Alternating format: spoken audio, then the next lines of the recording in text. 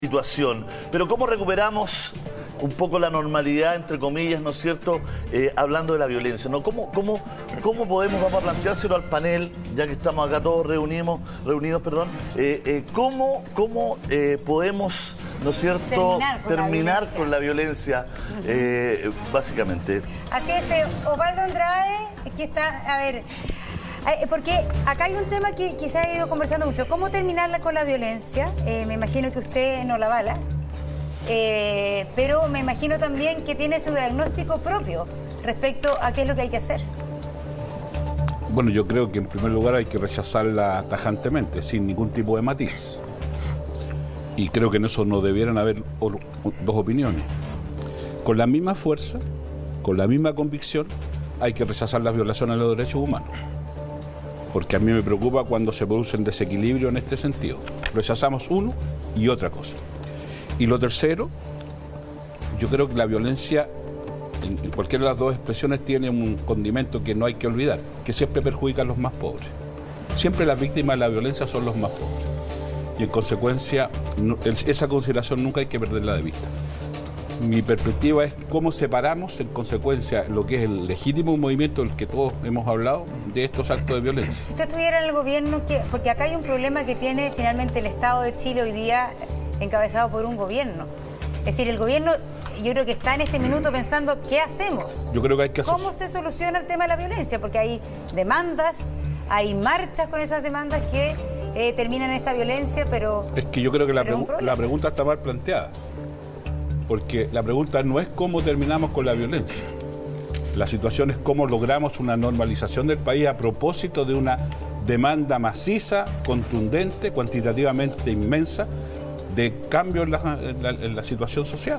¿Y cómo lo hacemos? desde, allí, desde allí, en consecuencia, uno tiene que pensar cómo enfrentamos el otro tema, porque si lo hacemos al revés, lo que estamos haciendo es olvidarnos del millón doscientos que se manifestó y preocupando de los seis mil, que habla el gobierno, que hacen violencia. ¿Y cómo lo hacemos desde su perspectiva? Yo creo que hay que asociarse con la demanda ciudadana.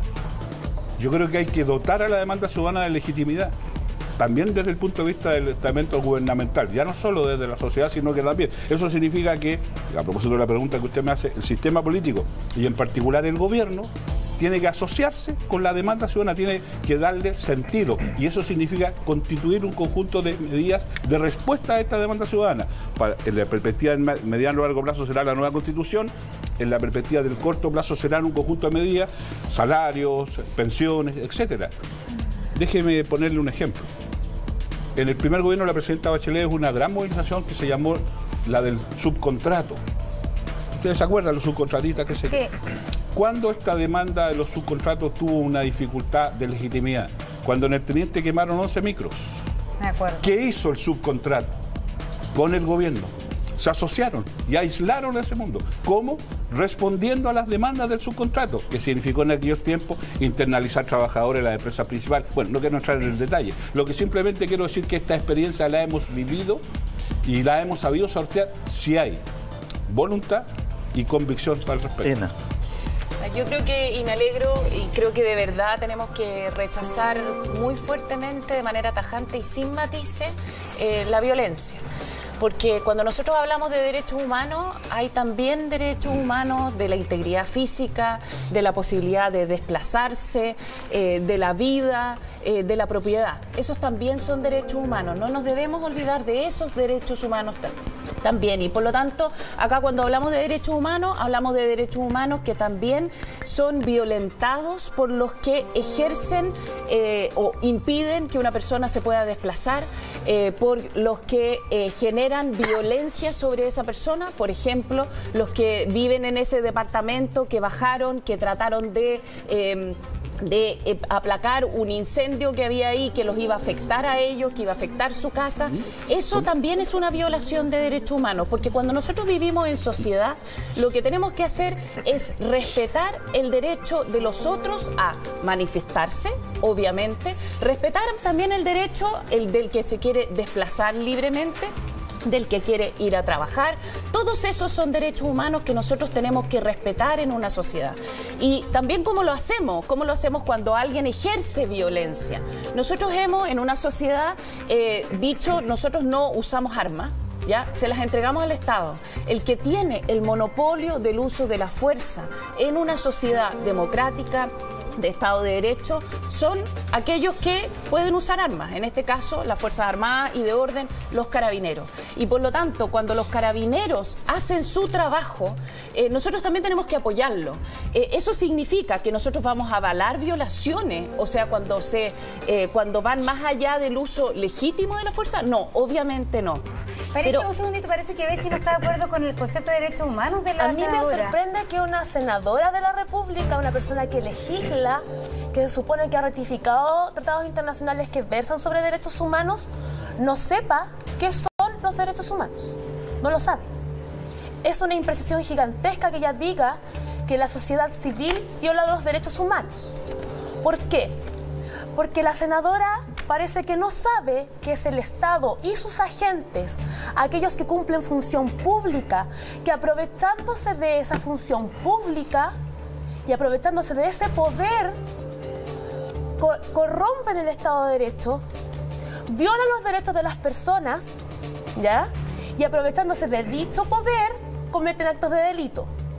Esto está contemplado en el artículo 150 del Código Penal y versa que se trata de vejaciones o tratos degradantes hacia los civiles fuera del Estado o sus agentes. ¿Y Primera cosa. Y segundo, los civiles, señora Ana von Baer, cometen actos de delincuencia siempre y cuando estén tipificados en el Código Penal o en alguna ley penal especial. Para que un acto sea delito, tiene que estar tipificado, tiene que estar en el tipo penal, tiene que estar escrito en la norma, tiene que ser antijurídico y culpable. Usted, señora, es senadora de la República. Yo soy una simple ama de casa y estudiante de Derecho. Entonces me parece sumamente irresponsable que usted no sepa lo que son las violaciones a los derechos humanos. Y por cierto, no lo sepa cuando usted ha avalado una dictadura sangrienta de 17 años. Perdóneme que me moleste, pero usted está desinformando a la ciudadanía. Usted cumple una labor que es fundamental en el Estado, que es legislar. Entonces, por favor, sea responsable. Porque así como dijo en el hemiciclo que las mujeres prestábamos el cuerpo, acaba de decir aquí para todo Chile que los civiles cometemos violaciones a los derechos humanos. Eso no es cierto. los civiles cometemos actos de delincuencia tipificados el Código el concepto entonces, senadora? Mira, yo primero quisiera decir de que esto nosotros tenemos que aprender a conversar. Es que usted no está conversando, usted está desinformando a la ciudadanía. Sea responsable, porque su sueldo sale de todos los ciudadanos y todos los habitantes de la República.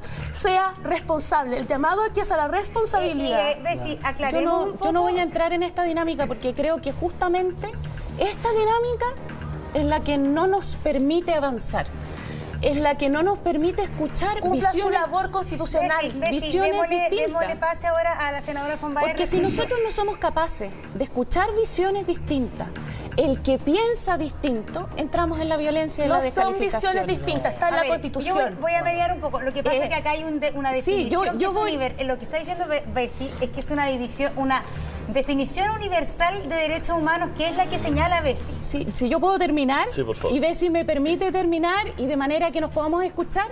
Vamos a conservar el, diálogo, por favor. Exactamente. Dialoguemos porque yo creo que esa es la manera de avanzar.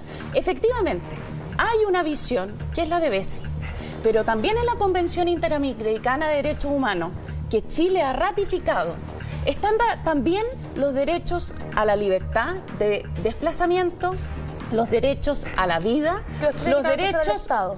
Yo la escuché, Bessie, y yo creo que nosotros... es legisladora. Y usted... Usted no puede hacer lo que acaba de hacer acá.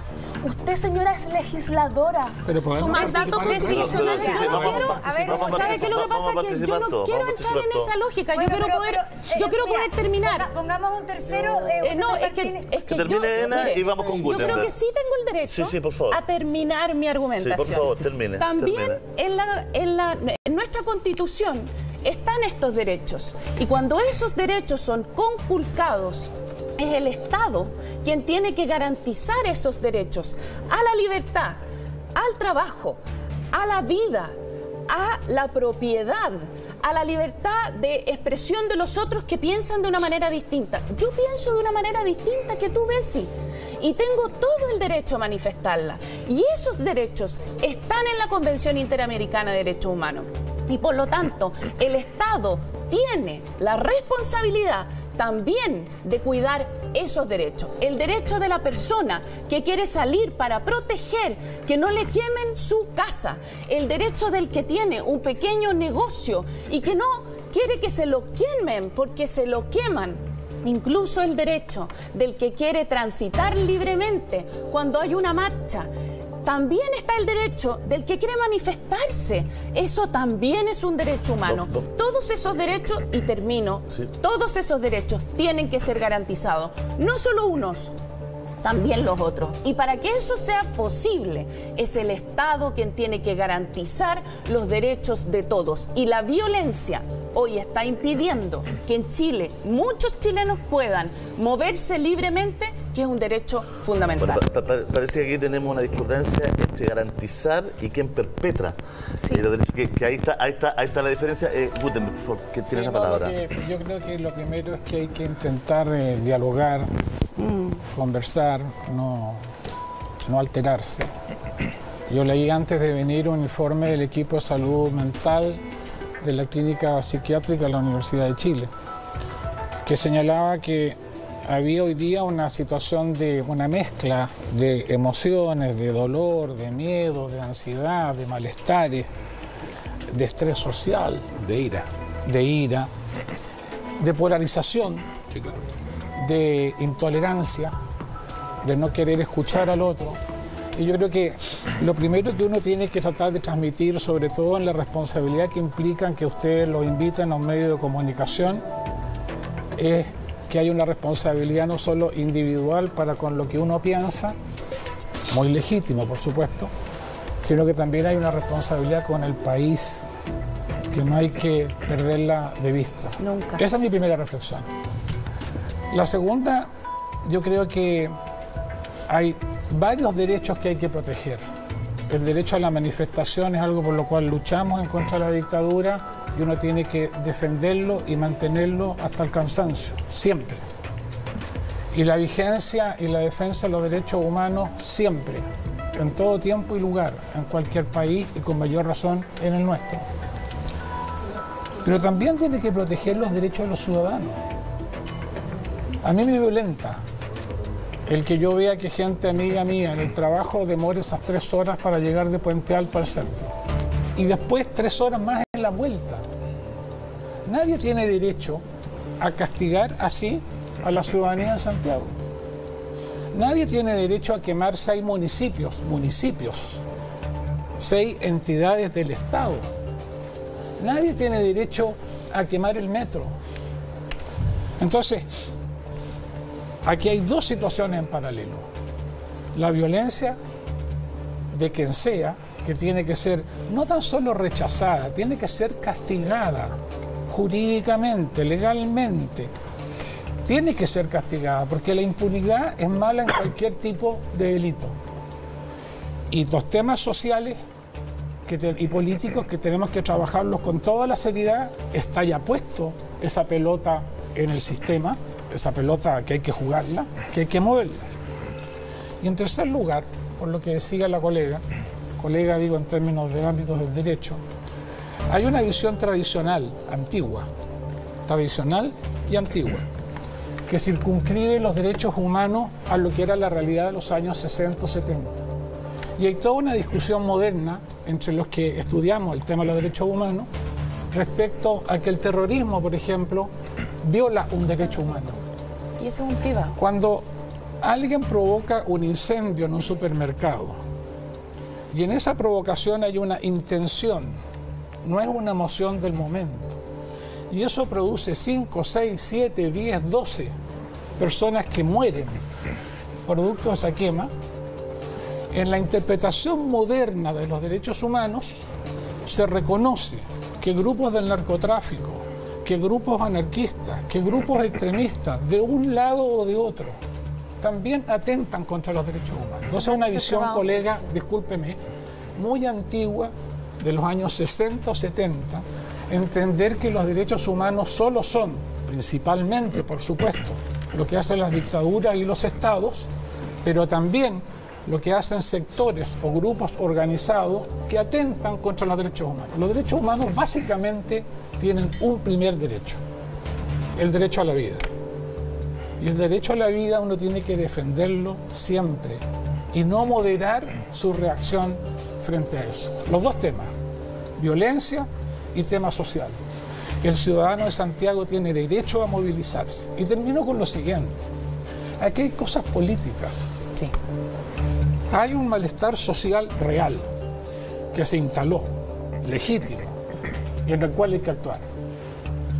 Pero también hay grupos, y esto es un tema de literatura, de literatura actual, hay grupos anarquistas en que sus tres objetivos, sus tres enemigos, y esto es bien importante porque todo el mundo dice, pero ¿por qué se hace con el metro? Si el metro es bueno para todos nosotros, si el metro es público y es estatal. Es porque hay grupos que su primer enemigo es el Estado. Su segundo enemigo es la propiedad privada. Su tercer enemigo son las iglesias. Están los escritos, podríamos traerlo y conversarlo. Sí.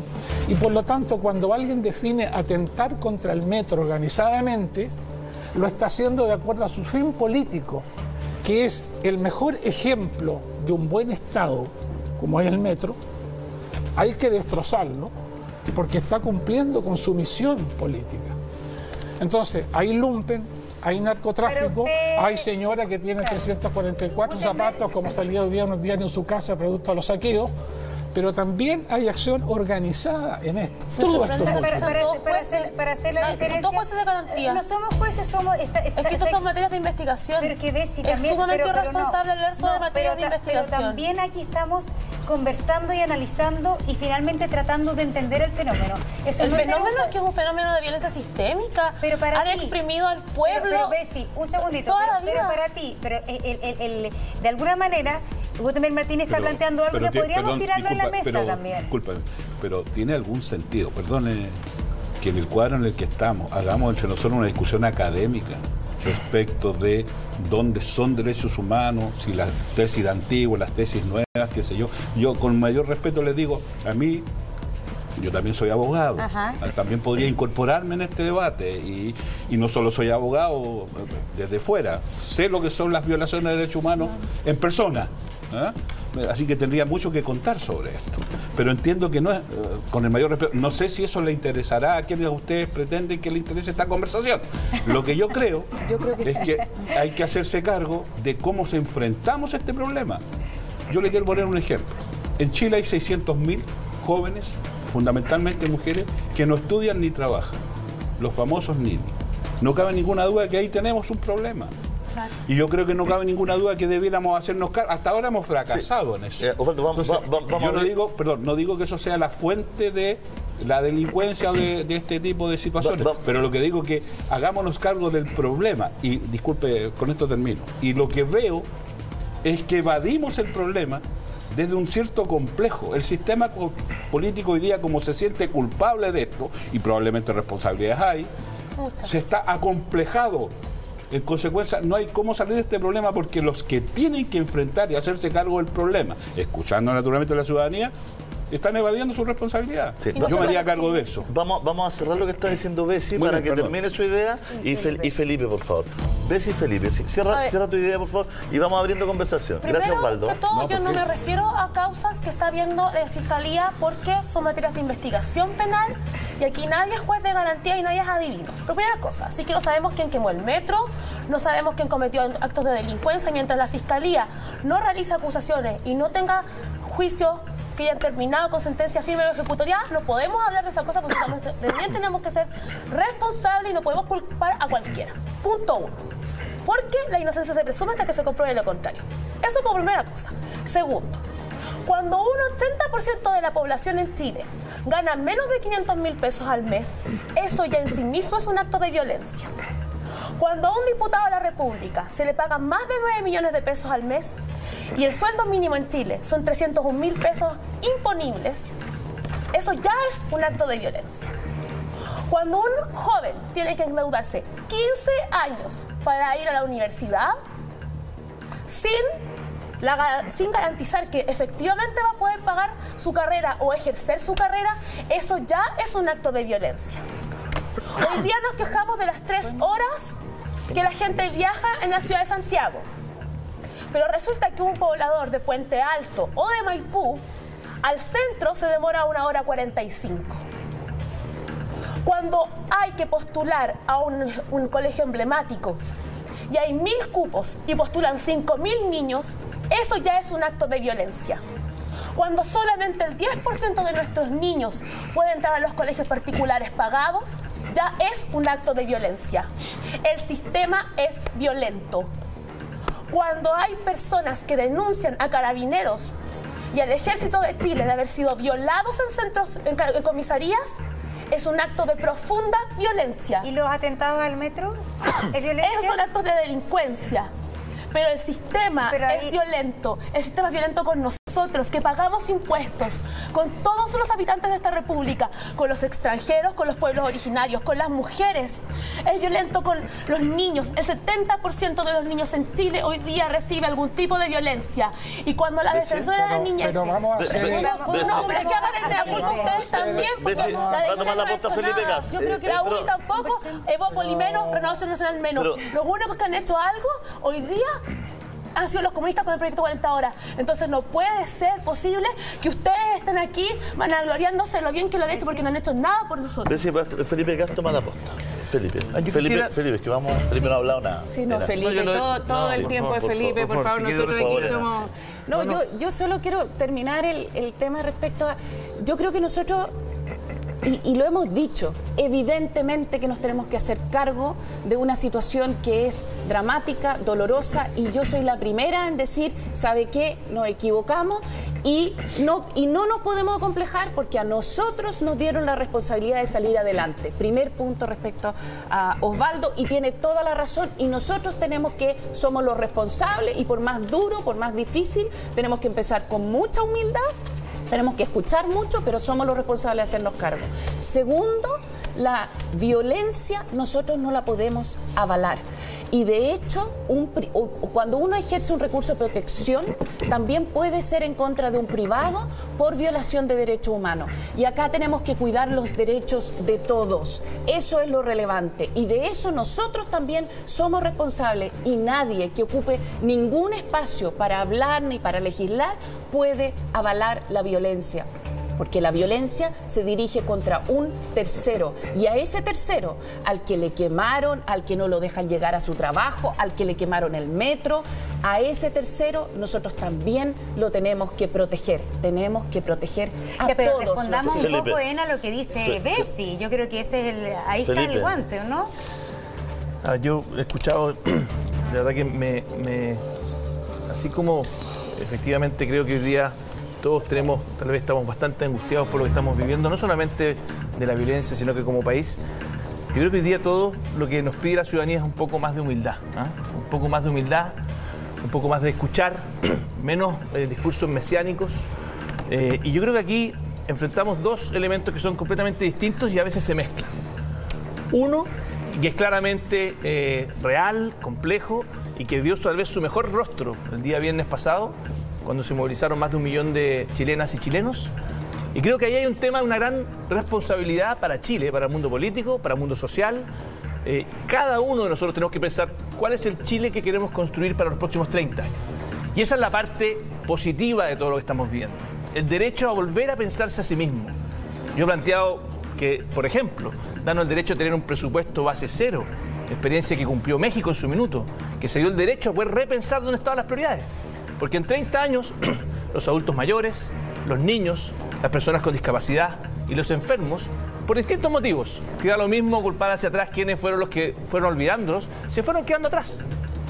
Y eso es porque muchas veces esos grupos de la población no podían marchar, no tiraban piedras, no tenían presión política, no estaban organizados. Entonces los grupos invisibles se fueron quedando atrás. El presupuesto base cero te permite, con cabildos, con conversación, en forma racional, en forma realmente responsable, no para destruir el primer piso de la casa, para construir el segundo piso de la casa. Creo que ahí hay un elemento positivo que estamos viviendo y que creo que el mundo político, con mucha humildad, por eso que el presidente haya pedido perdón es positivo. Yo espero que sean muchos más los que pidan perdón. Por eso es positivo que haya hecho un cambio de gabinete. Que no simplemente se haya emperrado en decir, no, yo estoy perfecto, está todo bien, no nos hemos equivocado nunca. Eso es un error. Hoy día mucha humildad. Primer elemento. Pero hay un segundo elemento, también muy relevante. Y por eso cuando yo escuchaba que alguien decía, no, la rabia mal canalizada llevó a la violencia. Cuidado, Cuidado. Eso es distinto y lo veíamos aquí recién. La rabia bien canalizada, canalizada llevó a la protesta eh, pacífica y fueron millones. La rabia mal canalizada nos llevó a la violencia. Los violentistas creen en la violencia, lo decía muy bien Gutenberg recién. Los violentistas creen en el ataque, en el ataque sistemático al Estado. Por lo tanto, no mezclemos esa violencia de grupos anarquistas probablemente, que cometieron actos violentistas. Lo del metro no es casualidad.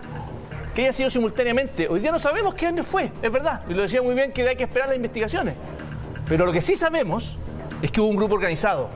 Las quemas del metro no provienen de una rabia mal canalizada. Las, quemas del metro provienen de grupos delincuentes y violentistas. Y a esos grupos, y ahí tenemos otro problema, que es la impunidad.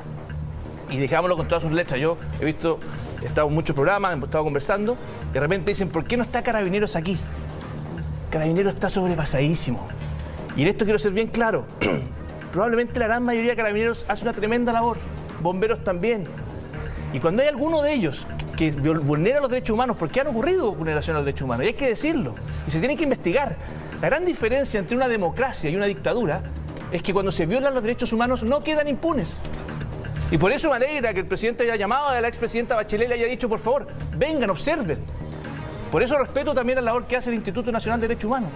Entonces es muy importante que todos tengamos esa convicción, dos bases mínimas de la democracia. Uno, la violencia nunca. No es rabia mal canalizada, es delincuencia y nos destruye a todos y particularmente a los sectores más vulnerables, que hoy día tienen que demorarse tres horas para poder llegar a su lugar de trabajo. Las pymes, vamos a llegar a fin de mes, las pymes hoy día no pueden pagar los sueldos. Las pymes hoy día no pueden pagar los arriendos. Llegamos no pueden pagar, no pueden- no pagar, no pueden pagar los créditos. Entonces es muy complejo el dolor que genera la violencia. Pero al mismo tiempo, cualquier vulneración a los derechos humanos no podemos tolerarla, porque es la gran diferencia entre una dictadura y una democracia. Nos costó mucho recuperar la democracia. Y hubieron en ese minuto líderes como Patricio Elwin que estuvieron a la altura, que lograron unir al país en momentos muy difíciles. Yo espero que tengamos esa altura, todos los sectores políticos, con todos los mea culpas que hay que hacer, para poder efectivamente canalizar y construir ese segundo piso de la casa, que tiene obviamente una demanda ciudadana legítima y concreta.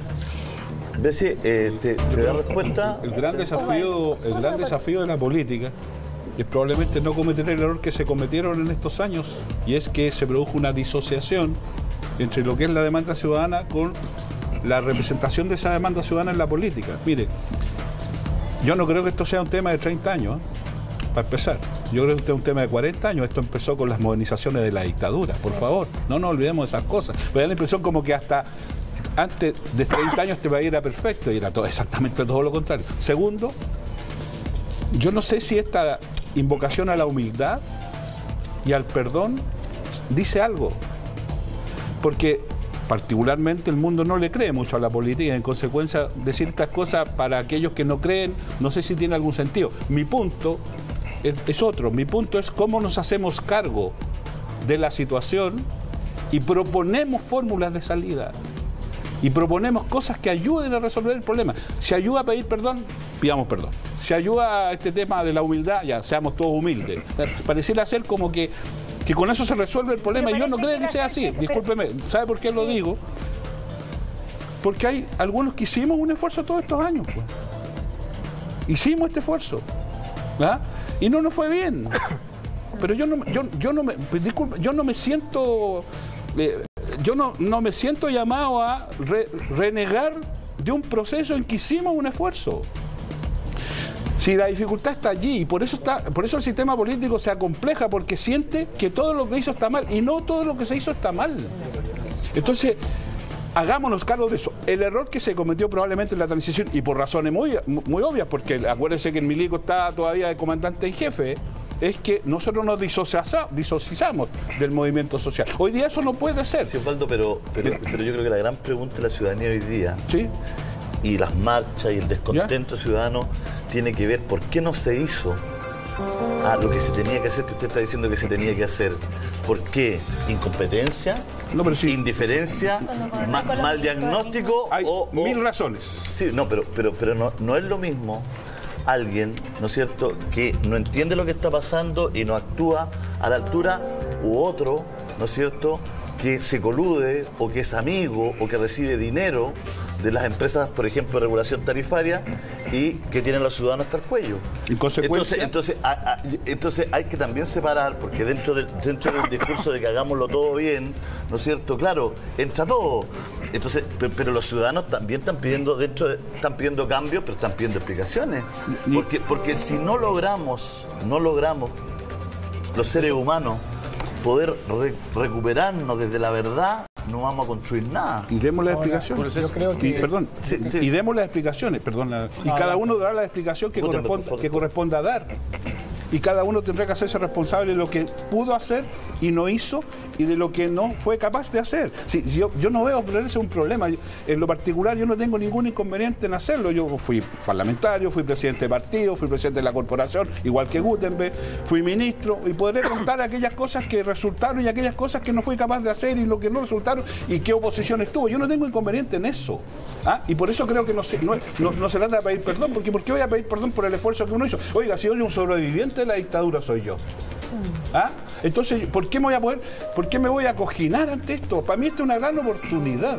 El punto es que, reconociendo aquello, y no hay problema en hacerlo, bueno, pero planteemos alternativas, porque si nos vamos a quedar solamente en, en- en el mea culpa, que es necesario, lo Es que- reitero. Es que, para poder, para- yo siento que la, la gente lo que, lo, que, lo que pide es, para poder hacerlo y reconstruirlo, primero tenemos que saber Entonces- qué nos pasó, porque, Entonces porque si propongamos, no, no... le doy un ejemplo. Claro.